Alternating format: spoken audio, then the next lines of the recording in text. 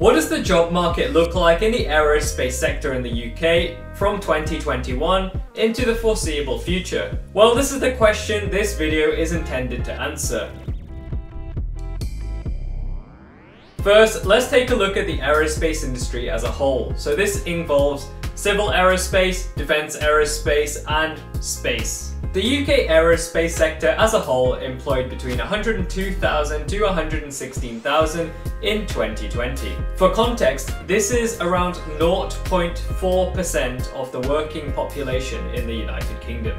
It is important to note that these are not all solely aerospace engineers, as there are many professions within the aerospace sector. For example, some alternate degrees to aerospace engineering that can help you get into the aerospace sector are computer science, chemical engineering, maths and physics. One thing that the aerospace sector boasts is a great average weekly wage which is around £780 and 80 pence. So this sort of roughly equates to around £40,000 a year. Comparing this to the average salary in the UK, which is around £31,500, it clearly shows that a career in aerospace is greatly financially rewarding. Another clarification I do want to make about the average wage is that this is an average of all the people that work in the aerospace sector, from apprentices right up to CEO level. To consolidate the overall analysis of the aerospace sector, it's evident that the sector is not that large in the grand scheme of things. However, it does pay above average, well considerably above average, which makes it greatly lucrative to venture into. So let's go deeper into the three main areas within aerospace engineering, which is civil aerospace, defense aerospace, and space in general. First up, we have civil aerospace. And within civil aerospace, the main things that they develop are passenger aircraft. So things like large jumbo commercial planes like this one here, to private helicopters, as well as commercial cargo aircraft. It is pretty evident that COVID has impacted the civil aerospace industry, with many airlines cancelling orders for new aircraft. More closely to home, one of my friends actually did an internship with Airbus and was offered a graduate placement. However, after the pandemic hit, Airbus told him that they don't want him to come back as a graduate anymore. So it is clear that the civil aerospace industry has received some hard hits lately and it is uncertain as to how long it'll take to heal back to pre-pandemic levels. What I'd say knowing this is that if you do want to embark on a career in aerospace, then make sure you don't limit yourself in wanting to only work in civil aerospace. Now we've got the currently depressing side of aerospace out of the way, let's move on to two areas within aerospace that are experiencing growth and have a prosperous future.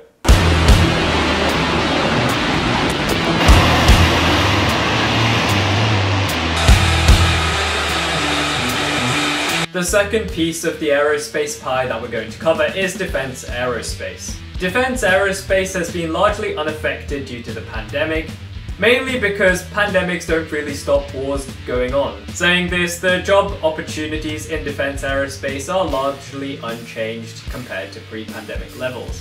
One thing to note, however, is because the civil aerospace sector is cutting down on jobs, people are now trying to get into defense aerospace jobs. So you have to be aware that the competition to get into defense aerospace has slightly increased. Some promising news about the defense aerospace sector is that BAE Systems recently got a 250 million pound contract to improve its development on Tempest, the next generation fighter jet. According to PwC, this contract awarded to BAE Systems will actually help maintain 21,000 jobs every year. So it is evident that the defense aerospace side of things is well funded and a much safer option to go into compared to civil aerospace, especially when it comes to the near future. The third and final piece of the aerospace pie is the space industry. This actually is one of my favorite areas of aerospace. I think everyone knows this, but uh, it's definitely important to state that unfortunately the UK's space endeavours is nowhere near in comparison to that of the United States. However, this does not mean that the UK space industry is not growing.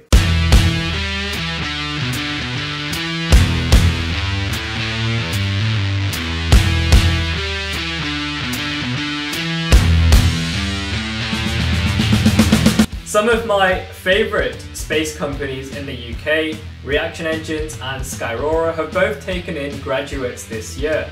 It shows that there's a huge future for fresh graduates who've studied engineering to get into these really interesting and exciting space companies. The UK Space Agency also announced earlier this year that the industry has more than 3,000 new jobs.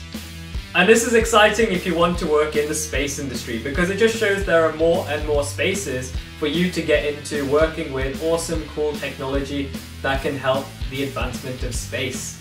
The UK Space Agency also announced that they're going to invest around 1.5 million pounds into space technologies which revolve around space exploration and robotics, mineral extraction in space, and nuclear power in space. This could mean the rise of potentially new space tech startups, new space companies, and just in general a big boom in the space industry which as a result would mean there needs to be more workers in that space industry so there's more jobs for you guys. By taking all these insights in, it's clear that the UK government is taking the space sector seriously and is hoping to grow this industry rapidly within the next few years. But what this means for you is that there will be more jobs and opportunities for you guys to go into this industry. To conclude everything we have covered in this video, it's evident that the space and defense aerospace sectors are going to be the biggest growing and the most promising future aerospace endeavors that you can go into. However, it's also important to note that the civil aerospace workforce will still be quite sizable.